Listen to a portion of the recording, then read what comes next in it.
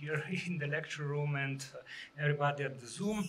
Uh, I'm proud to open the first event in the series uh, History at the Edge, uh, which will start with uh, Dr. Milica Popović telling us something about deserters. The, the, the title of the presentation is uh, The Silence of Saying No, Narrating Desertion, and I am really, really um, interested in hearing how was this process perceived in the 90s and in today, in today, today uh, in the space of ex-Yugoslavia. Because I think that it is a question that no one in Slovenian historiography ever thought about, and it's also something that needs to be deeply researched. And I believe that this colleague is deep in the midst of the archival uh, and oral sources uh, research of this matter. So please, Milica, I will remove myself for now.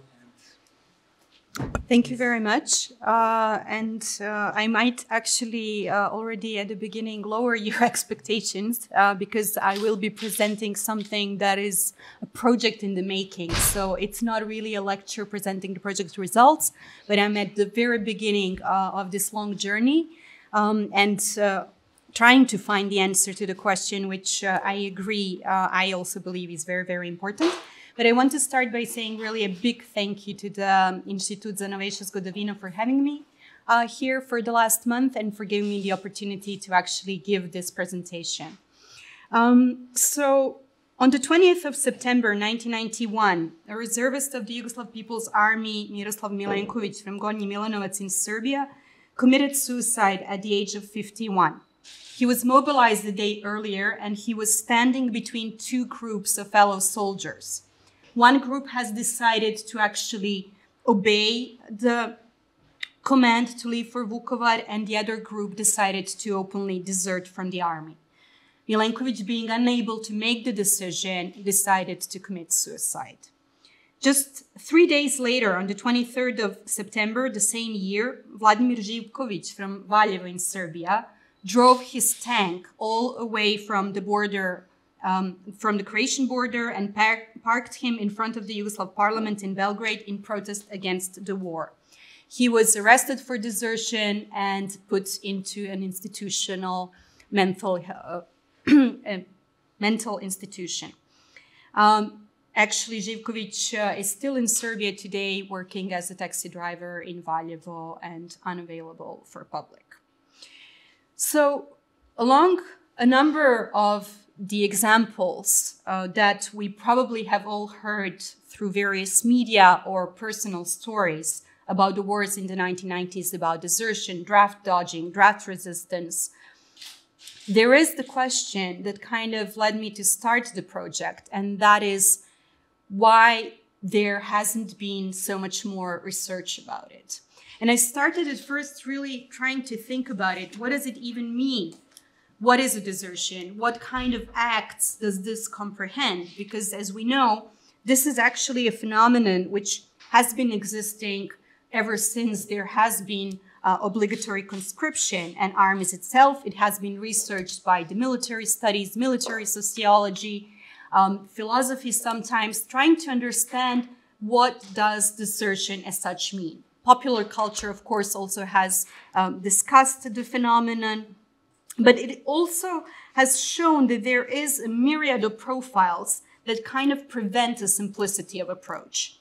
And in some of the works uh, that I have came upon, there has been a different uh, kind of approach, trying to understand it either as a formula of betrayal, meaningful socio-political act, an ambivalent act, uh, one of the ordinary vices, as Judith Shklar would say, actually treason itself.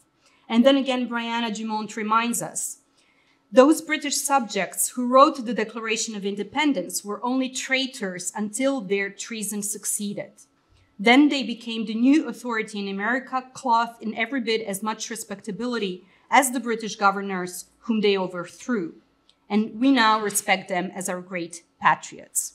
So understanding desertion and draft resistance is ultimately dependent, of course, on the societal hegemony paradigm and the current political elite's understanding and their mainstream memory discourses. I need to make a disclaimer, of course, that in the talk and in the presentation, I use desertion and deserters, but it is encompassing also the acts of draft evasion and draft dodging, just simply for the simplicity of talking, of not uh, all the time kind of repeating myself.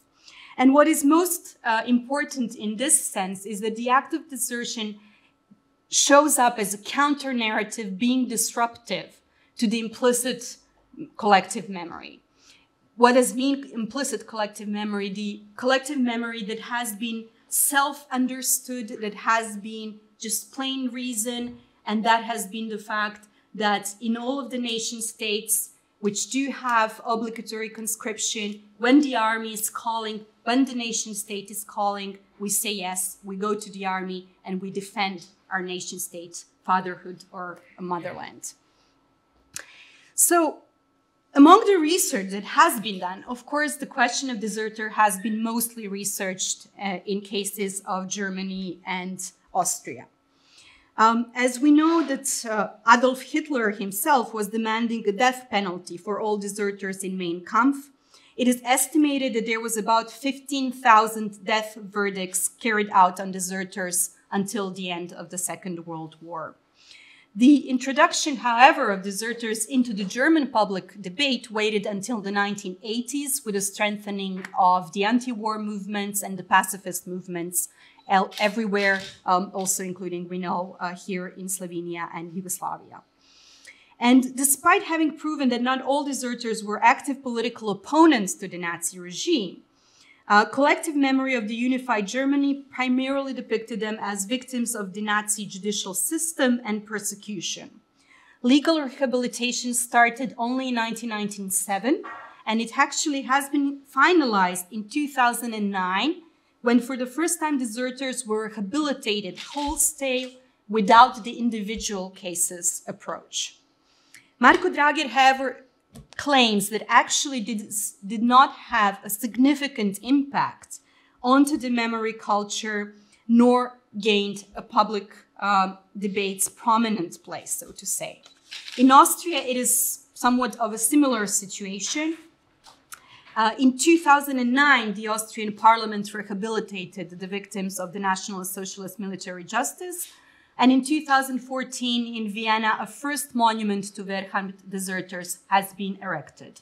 As you can see in the photos, the monument has been placed on Heldenplatz, in a bit of a corner of a Heldenplatz, and this following the way it has been constructed today when we pass through, it mostly serves the purpose of tourists actually taking a break while looking uh, the, the rest of uh, the magnificent and monumental Heldenplatz uh, itself. So similarly to Germany, even though some of the reports say that there has been about 50,000 uh, deserters in Austria, the authors uh, like Pirker and Kramer claim that lacking a cohesive identity, uh, the deserters did not play a significant role in the national memory culture. So the act of deserters and draft resistors has, of course, a multitude of roots and reasoning behind, which makes it a very difficult object to be researched, maybe even understood as a whole. But the remembrance of this act within specific historical and national context plays significant role in memory politics, either by epitomizing it as the ultimate ethical act or shamefully wresting it into the oblivion. And what about the Yugoslav wars? So the project that I hope to uh, conduct actually is being situated within the Yugoslav wars from 1991 to 2001. And um, as we all know uh, very well, um, the aim is to situate it in the narratives which are still by the political elites and hegemonic memory narratives really naturalizing, so to say, ethnic hatreds like Pavle Levy has been explaining, um, and also trying to show how the elites were using the violent conflicts as a tool to demobilize the moderates um, and the Yugoslav populations. So seeing nationalism as a tool uh, for hegemony struggles rather uh, as than its cause. And of course, in such a context, the high desertion rates do not necessarily come as a surprise. but they still remain counter narratives which are unwelcome by the political elites because they try to break the discourses on ethno-national unities and thus are being silenced. So when one starts researching the Yugoslav wars and the case of desertion, what is really interesting to see is that even all these 30 years later, it is very difficult to come across significant amount of research being conducted. Actually, there is some of the reports mostly conducted by international and non-governmental organizations, and the numbers just fly around. The numbers that we can find in all of these reports go from 30% up to 90% desertion rates in Serbia. One could kind of assume that probably this shows the difference within Belgrade and the rest of Serbia, maybe the smaller cities. There must be some geographical uh, differences in that sense. Uh, but we did not manage to find any of the data which actually finally concludes the desertion and the draft um, eviction rates. So as you can see, uh, there, there, are numbers uh, which uh, are enormous, which call for research, but are not final. Even uh, discussing the numbers of people who have fled Serbia, um, even in the early 90s, it was uh, over 100,000. Then, of course, um, it remains to be seen are those men, are those men who were actually trying to evade um, serving in the army and participating in the war, or were there other reasons for leaving the country, etc., etc. Beyond the two most famous cases from the beginning of the talk, actually some other desertion acts have been documented. To 24th of September 1991, several thousand reservists of the Yugoslav People's Army deserted the front line in Slavonia in Croatia and demonstrated in front of the assembly hall in Valjevo. Protests in Vojvodina took place almost in every small town, with the most well-known of the Zicer Klub, organized in 1992 in a 2,000 people's village in northern Vojvodina that lasted for 93 days with up to 1,200 people attending some of the meetings. There are cases of 7,000 deserters in Kragujevac, 700 in Smederevo, 700 that came back from Slavonia, threatening to shoot the general that was actually wanting to arrest them for desertion. 150 came back from Osijek, 700 deserters in Gornji Milanovac, all in Serbia. Even Vojvoda notes a mutiny in Banja Luka in 1993, etc., etc. So what is really interesting to see that there is a variety of numbers and no comprehensive research trying to understand what has been really happening.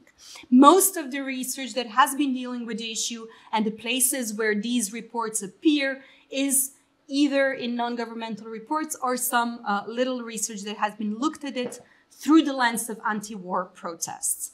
But also beyond being only an individual act or a collective act of the soldiers themselves, the desertion in Yugoslav war was a family act as well. Uh, we probably all remember the cases of the Serbian mothers who were coming by buses to Slovenia trying to uh, take their sons out of the armies while they were serving their uh, regular uh, military service. 2nd of July 1991 in Belgrade, there was about 300 parents who broke into the parliament demanding the return. And uh, there is one publication here in Slovenia about the case of Slovenian parents who've been trying to take uh, their son, sons out of the Yugoslav People's Army throughout um, actually the rest of Yugoslavia. And of course, in order, in order to react to all of these cases, the regime, especially in Serbia, reacted violently. There are some of the reports that even up to 25,000 combatants in Bosnia and Herzegovina were the refugees that were forcefully taken from Serbia to the military front. There have been reported incidents of torture, show trials, negative media campaigns, and then um, maybe uh, one of the most famous cases, the case of General Vlado Trifunovic, um, who waited for 14 years for the annulment of the treason verdict because in 1991 he surrendered the army barracks in Varaždin to the Croatian forces, sending home about 250 young soldiers. He was convicted for treason in Serbia. At the same time, he was also convicted as a war criminal in Croatia. And until the end of the, his life, he was trying to be very vocal about his decision um, that he made in Varaždin in 1991. Uh, also bringing to, to, to the discussion a very important element when we try to understand the act of desertion, uh, saying one should bear in mind that I have been left with poor children only. All other children, all other soldiers who had some property or someone they knew at a position of power or some connections, they were taken out earlier. They ran away, they did not come to Varaždin. So the class element is extremely important in understanding the act of desertion and this decision.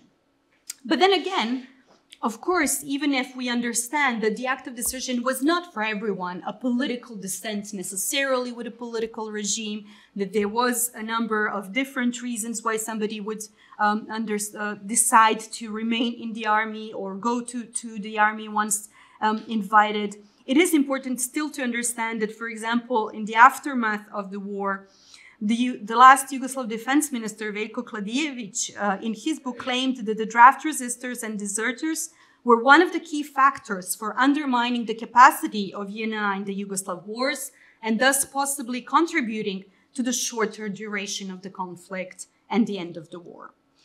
And then again, in the war as it was the one uh, in Yugoslavia, the memory on deserters is seen and perceived very differently depending on what kind of deserters are we actually talking about.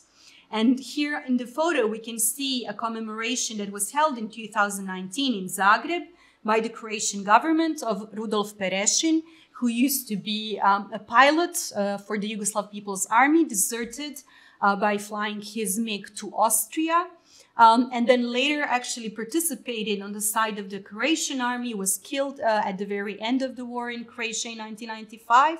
And since in 2019, the Austrian government has returned uh, the plane of MiG-21, uh, I think, uh, to Croatia. There has been an official commemoration ceremony where Andrej Plenković, the prime minister of Croatia, stated the message that Perešin sent in 1991, not only to the Croatian people, but to the whole world, was a message of freedom, courage, strength, bravery, and patriotism. And discussing and having in mind a very different message of freedom and bravery, there was a number of anti-war activists in Serbia that already through the 1990s have demanded commemoration of deserters from the Yugoslav wars, like Stojan Cerović and Women in Black, demanding a monument to an unknown deserter, which hasn't actually been built to this very day. So the only commemorative activities to the deserters who did not participate um, in Yugoslav People's Army or um, in any of the paramilitary formations um, of uh, the Serbian government in the wars have been organized in Belgrade. It started with 2010 actually an exhibition being inspired uh, from the story of, of Vladimir Živković, where art collectives Škart and Art Klinika, together with Women in Black, organized a street action, We Are Giving You Back the Tank, in front of the Assembly of the Republic of Serbia. And the performance in questions claim themselves, We Are Giving You Back the Tank highlights a marginal and almost forgotten act of disobedience, questioning the criteria which determine what is included or excluded from history. Celebrating a war deserter, this performance takes in the foreground the figure of anti-hero par excellence, contrasting the usual commemoration of combatants and war heroes. Undermining established narratives, it asks us to think about the way history is written. Some events are glorified and others forgotten. Some individuals become protagonists and other minor characters. And then in 2013, uh, in one of the squatted um, industrial places, which does not exist uh, anymore, in Exfilm at the outskirts uh, of Belgrade, there has been an exhibition in the name of Praise of Deserters. Um, it has presented a number of artworks dealing with the act of desertion and war resistance in Serbia in 1990s by DAH Theater, Nikola Jafos, Srđan Veljović, Women in Black again. As presented on the website, it says, disclosing a narrative of anti-war engagement this exhibition investigates the civil protests in Belgrade, highlighting the opposition to the rise of nationalism and militarism and the forms of politically engaged art and performance which emerged from this context. The title refers to the deserters of Yugoslav wars as iconic figures of the decade, whose act of disobedience undermines the myth of war heroism and symbolically represents the anti-militarist drive of the whole civil protest. This curatorial project interrogates the generative tension between live performance of protest and archival reconstruction, questioning the way history is constructed and narrated. Some of the references to the act of desertion and draft evasion have also appeared in the Museum of the 90s, which has been presented just uh, recently um, in Belgrade. Although uh, the organizer of, of the exhibition and the museum um, have claimed that also, even there, it has been difficult to reach out to the deserters themselves and collect some of the individual narratives. So certainly not to forget that these kind of anti-war narratives within which the act of desertion so far has been commemorated have continued to travel. They did not appear only within Serbia. They continued to travel the post-Yugoslav space. In 1992, there was a group of rock musicians um, and uh, they Rim Tutu Tuki. I never knew how to say it um, when I was a kid, and that remains a challenge even today. Um, and they had a very popular song, um, Peace, Brother, Peace. Um, and interestingly enough, in 2017, when in Croatia there was a discussion about the possible reintroduction, um, actually, um, of uh, the obligatory military service uh, in Croatia, one of the um, anti-war resistance uh, and anti-militaristic uh, kind of presentations was the same um, verses from the same song have appeared on Zadar Fortress ispod uh, mozga nema. So trying to kind of understand what is this story of the Yugoslav deserter and why is this relevant. Until now, I've been just trying to kind of depict what is the context in, within which we have even uh, any kind of references to the act of desertion and draft resistance. And of course, the political space remains closed to many of the mnemonic communities. Like David has been uh, talking about the problematics also of even the war veterans and their place in the memory narratives of the post-Yugoslav space. Um, and certainly as, as the political elites try to, to um, continue the, uh, the ethno-national uh, positioning, this narrative of resistance of participation in the Yugoslav wars uh, remains hidden, so to say. Another important um, element is that it also could help us actually show uh, all the panorama of various reflections of men and their families in the post-Yugoslav space, trying to understand uh, and giving us a further insight into the conflict societies today. So the story of the Yugoslav deserter um, really aims to understand the mnemonic community of deserters, so to say, and primarily through the lens of memory studies and political sociology. How do we remember desertion and draft resistance from the 1990s today? Important to say, uh, and especially here, I am not a historian. I'm not aiming to conduct a study of the history and to establish the exact facts and numbers uh, about desertion. And also, I'm not trying to conduct a sociology of anti-war movements. What would be really interesting for me within the project is not to focus on the deserters whose desertion has translated into anti-war activism, but exactly to try to look into the populations who did not become anti-war protesters and activists, but nevertheless have taken the decision to desert or not to evade or resist the draft. So really kind of trying to see how the hegemonic memory politics in the public space throughout the temporal shifts of the discursive representations and individual and family memories. In a certain way, these multidirectional memories define the implicit memory frameworks. And then uh, there remains the question how to do it.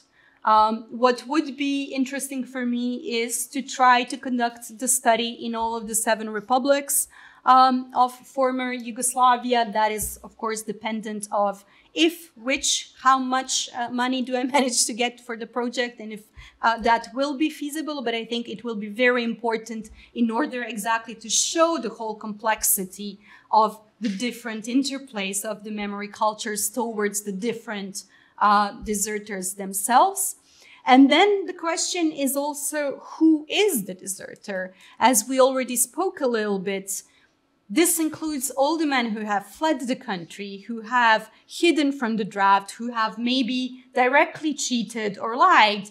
Um, in certain communities within Belgrade, almost everybody has a story how their mothers or grandmothers or parents have been lying, that they are not home, that um, there is uh, one of the urban legends, uh, father sending a written note to the Yugoslav People's Army saying that his son will not come to the army because his father does not allow him to, etc., um, etc. Et so, so really trying to see where these borders and what does desertion and draft evasion mean in a certain sense.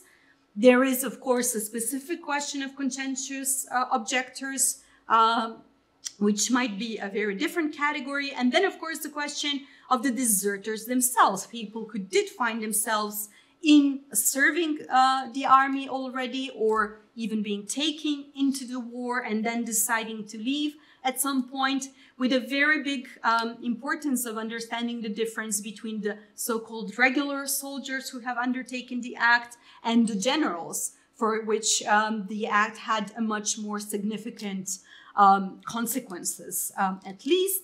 And then, of course, the question of the deserters uh, from the Yugoslav People's Army, who then took, have taken part into some of the national armies um, or um, paramilitary formations. Remains the question what do we do with the police forces? We know that police forces have actually very actively participated in the Yugoslav wars. In some of the reports that I have found, there is uh, a number of 2,500 policemen who have lost their jobs in Serbia because they have um, rejected to go to Kosovo during conflict. Um, and so far, what uh, is the only thing that is 100% sure to me um, is that I want to look into the deserters who did not become anti-war activists, but also who did not return to war, to any of the armies, or any kind of further pursuance of military or police activities. How to do all this? Uh, of course, there is a, a, number of methodological paths that one needs to take upon, uh, especially because the temporal shifts of the discourses on desertion are important in order to understand the memory narratives. Mm -hmm. um, it is important to understand also how it has been presenting during the wars uh, and later. Uh, regarding the archives, as it has been uh, expected, uh, there is nothing, or at least officially there is nothing.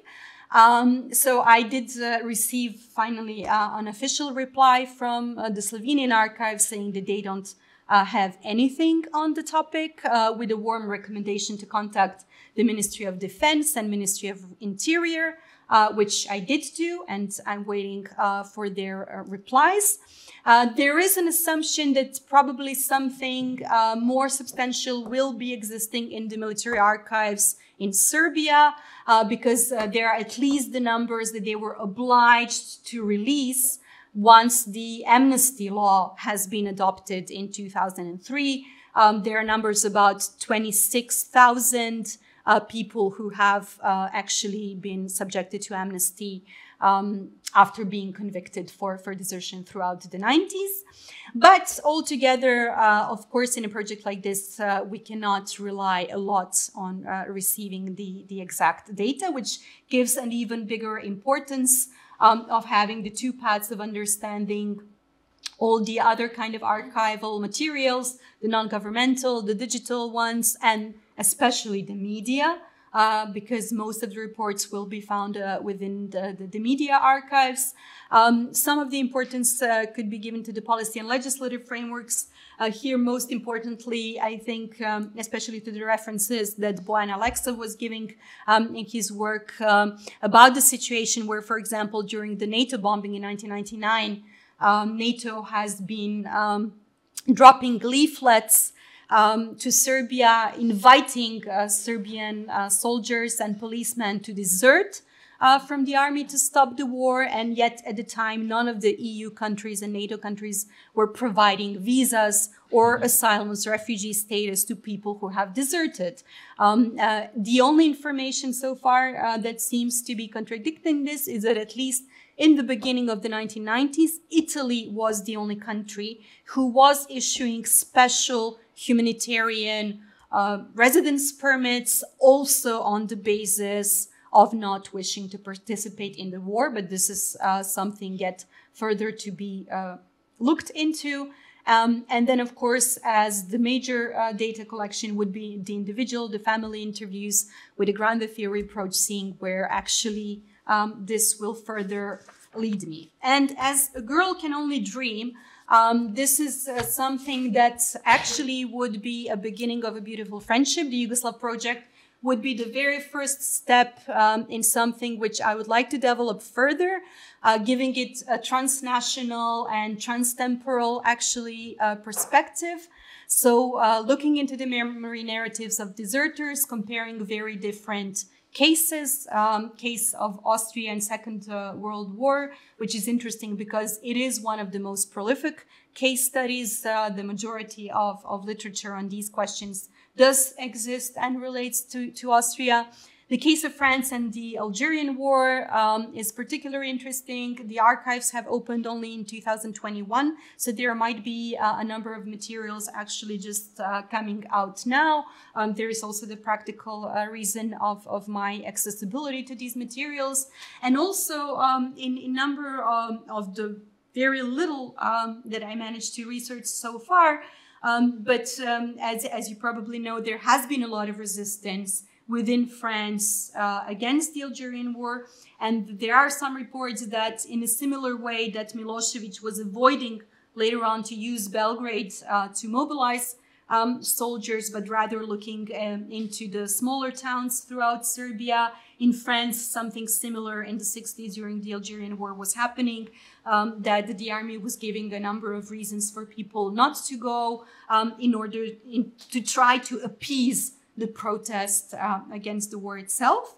Um, and being a political scientist, also uh, the matters of actuality um, are something that I think uh, would be interesting to add, and that is the, the case of the Russian invasion of Ukraine.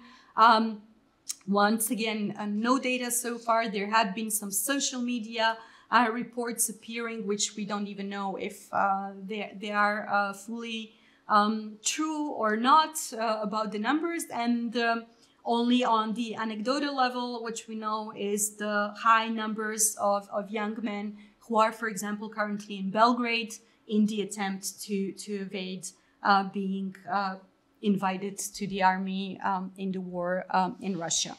So um, altogether, actually, I think that especially given that there is no official data, that archives remain inaccessible, um, and that these narratives remain kind of silenced, it's important to find a way to uncovering them because they're hiding these cracks in the monolith narratives of good and bad guys in the wars, victims and victors.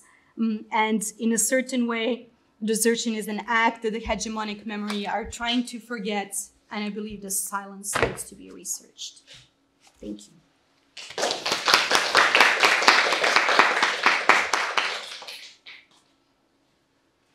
Thank you, Milica.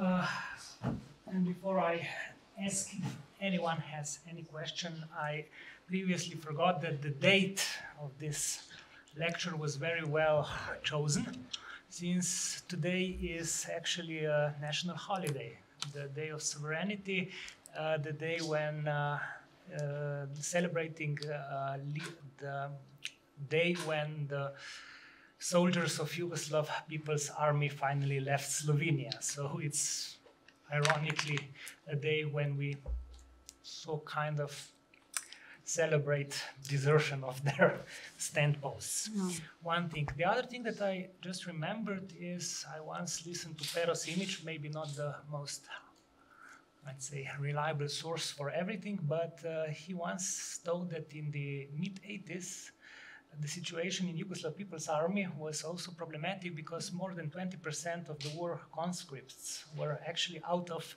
Yugoslavia at the time. So mm-hmm. there is also a question whether that uh, fact that most of many conscripts were abroad was just a case mm-hmm. of desertion or was it the fact of life?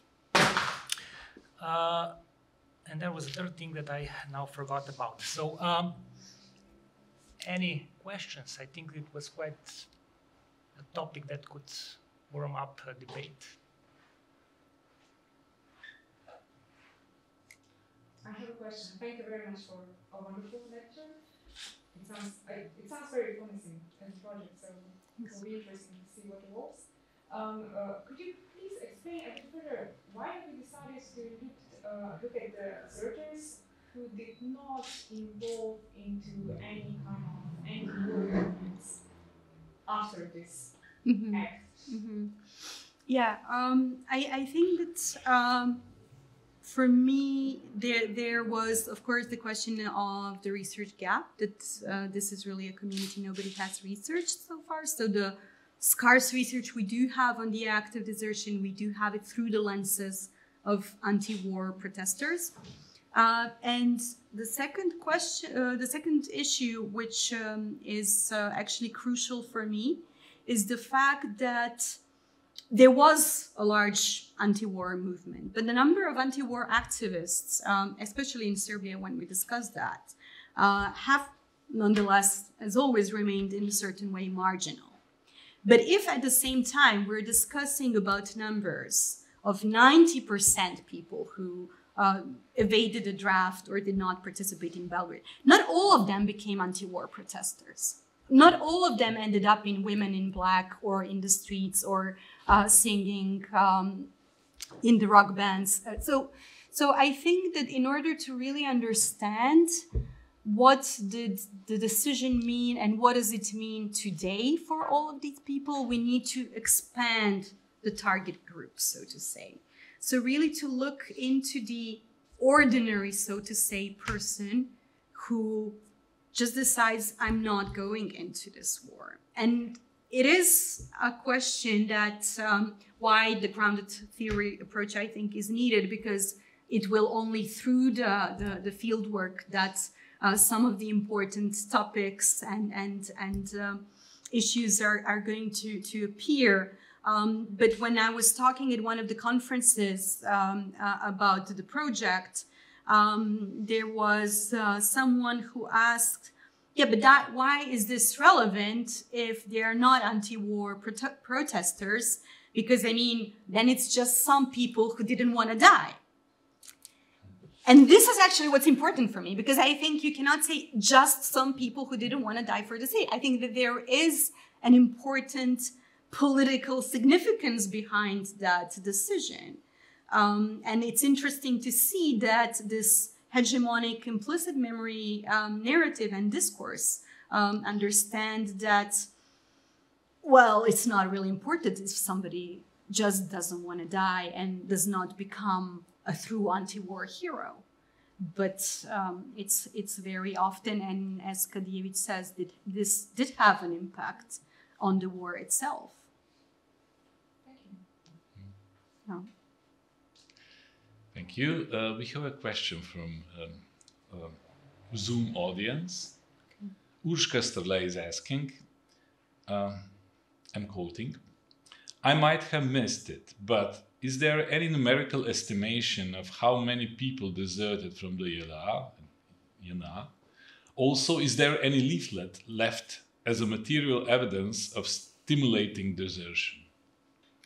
Um, so the the numbers are all over the place. I was i was talking about it. There there are interestingly enough really really very diverse numbers uh, coming out. Uh, what we know is 2001 so probably something that could be considered um, as most correct uh, in terms of the ones who have been convicted of desertion is 26,000, the ones that have been pardoned with the amnesty law. That is the only data that we can have and would claim, with certainty claim that, okay, this is the number. Probably there would need to be some adjustment. I will need to go and see in the judicial archives if there were some additional um, amnesties that were taking place later. Uh, but this number does not cover all the other cases that we were discussing. So people who would leave, people who uh, were hiding from from from drafts. So so no, there is no uh, number, and probably it won't be um, even possible to have one final number of, of people who deserted. So, so, so that's uh, what makes it fun. Um, regarding the, the leaflets, I don't have uh, any knowledge about this, but I could easily imagine that there is something to be found somewhere in Serbia um, because I even remember myself that there, there were a lot of leaflets uh, being sent from, from, from NATO planes during the bombing of different uh, messages. Um, so, so yeah. yeah. I could imagine Women in Black should have something, but I just started um, the very initial research first here now. So Serbia is yet to be explored. Thank you. And the message for Urška is there are numbers, but too many of them. yeah that is that is probably one way but, but, but it's really interesting to see i mean that, that that's why even in itself um, one of the methodological and and and uh, issues is of course to say who is even the draft evader because okay for deserter we know that needs to be somebody who's already in the army and who left but for the draft evader what about people who left before the invitation came and so it is only their own personal perception that the reason they left Serbia was not to go in the war. But is it really they didn't they weren't even invited yet? So at, at which point do we actually start including uh, the people into the research group? Um, so yeah. So I guess, I guess is their perception is also important how they evaded. Uh, Exactly. When did they left Serbia? Exactly. I don't want to go to war, so I left before I get the note. Yeah. Yeah. Yeah. Yeah. yeah, Draft dodging, actually. Yeah. that, that's the, the case. I mean, we were talking here a little bit about Serbia, a little bit about Slovenia, let's say Croatia. Uh, were a very different way of how the war actually uh, went through. And in 1995, with uh, Oluja moments, people who knew were trying to leave Croatia at the time to mm. touch the draft, but then Croatia had to close down the borders. That happened yeah. days before the actual military operation. So, what were those people who actually were just evading the draft at the time? Yeah. Those numbers would most probably never be known. I mean, yeah. Yeah, yeah, yeah. In, in, in Croatia, uh, one there was re- relatively recently this this article in Novosti, and the journalist was saying that it was almost impossible for him to find uh, people who were willing to talk uh, about, uh, even though there are uh, some assumptions that there were significant numbers. In Croatia, there is also the, the, the interesting case of people who volunteered for the Croatian army for the war in Croatia but then did not go when they were invited to participate in the war in Bosnia and Herzegovina. Uh, so, so yeah, there is there is really uh, a multitude um, of decisions that have been taken. Sorry, I'm here as a voice for. Uh, Please. If there's anyone else, Ima, yeah. aha, Anna. There, Anna. Yeah, I'm Maybe just to continue because it's the same. Uh, thank you so much. It was very, very great. And I love that idea that you not use this idea desertion as kind of a, a heroic act or some act who can dismiss you totally, like we always had. So I really like this emphasis of ordinary results or ordinary you know, motivation behind it, why people. Yeah. Uh, but actually, just to connect with this, I was thinking about, you know, very complex situations like in Bosnia, because you have people who are mobilized by, let's say, three sides. Yes. How then you will, I mean, this would be something which is very, you know, difficult also to, to research, mm. to talk about. It, it, do you have any strategy to discuss this? Because you said that you want to uh, make comparative. Mm-hmm. Um, research. That, that that's why so far the most productive is is this kind of decision of people not to participate in any of the war activities.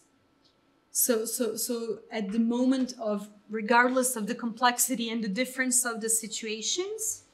So if, for example, in Slovenia they left JLA from regular military service, came back, didn't go into TEO.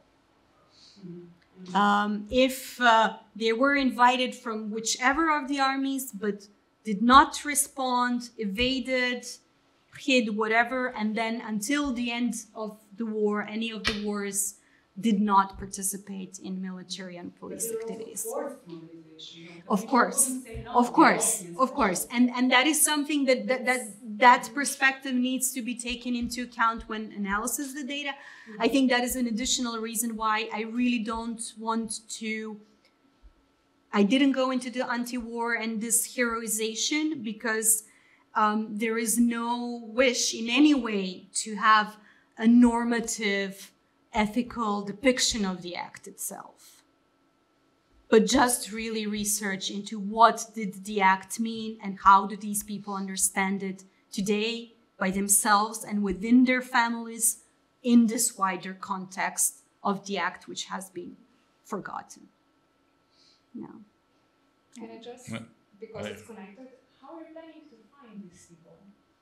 snowball sampling. Um, it's, um, I, I mean, I have, ex- I belong to a generation which was growing up uh, throughout the wars. Um, I mean, uh, my my own grandmother was uh, pretending, or at least it's the family myth. I don't know if, if if it's true, but she was pretending to be already senile, and every time they would come to call for my brother, she would be telling them that she doesn't have a grandson and she doesn't remember any family, etc., etc.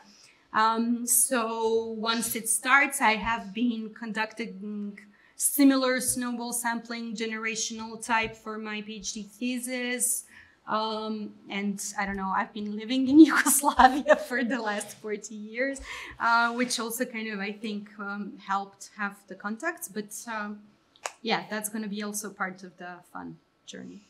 Okay. Marco. Yes. Um, now I need. It's not for. It's not for my question, but it's a question of um, Jovana Mihajlović Trbovc, and it's a very interesting question. I will quote. Not just question. It's also uh, uh, the opinion. Congratulations for comprehensive approach to the topic, both relating to memory studies and political science fields. You are obviously pointing to very heterogeneous wartime experiences that defy these nationalistic hegemonic narratives. What are you ex- your expectation or hypothesis? What kind of political agency you expect to find among the draft evaders and draft dodgers? What do you expect? It's it, it's it's a very typical question. I, I suppose your question yourself the same.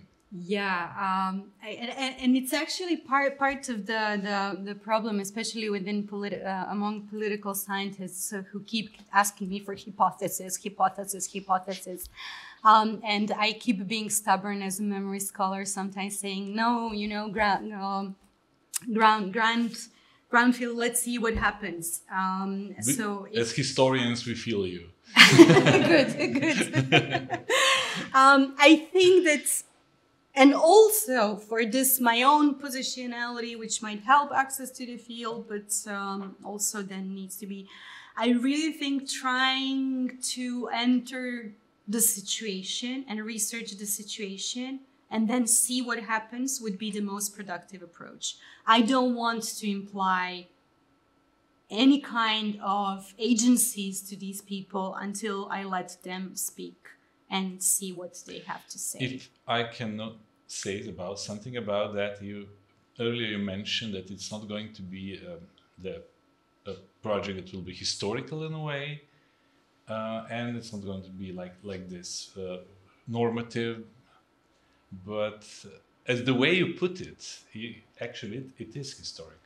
It it's really has this historical dimension in, in a really modern methodological conceptual way because you are not putting the to the um, um, any uh, any prejudice and, and anything in the in, into the mouths of your uh, informers and your actors. You would like to see why they did not want to go.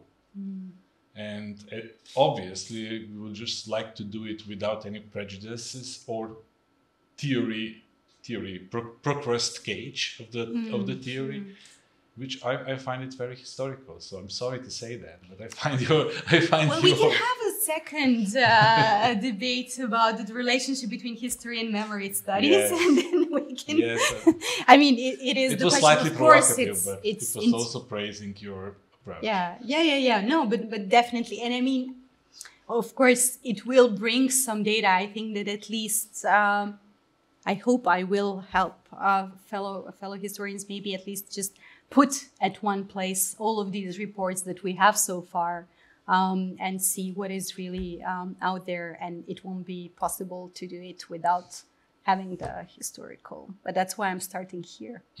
Thank you, and we're looking forward to your results. Thank you. Yeah, we'll see about that. Somebody needs to give the money. Chris. Another question? No? No. So on this specific ending, uh, Marco nicely ended the event. So thank you all for coming and Uh, event is not going to end now, but it will end with uh, the coffee. with But the that's coffee. that's something that I wanted to stay silent for the people on the Zoom. But so thank you. Thank you very much. Bye. Thanks.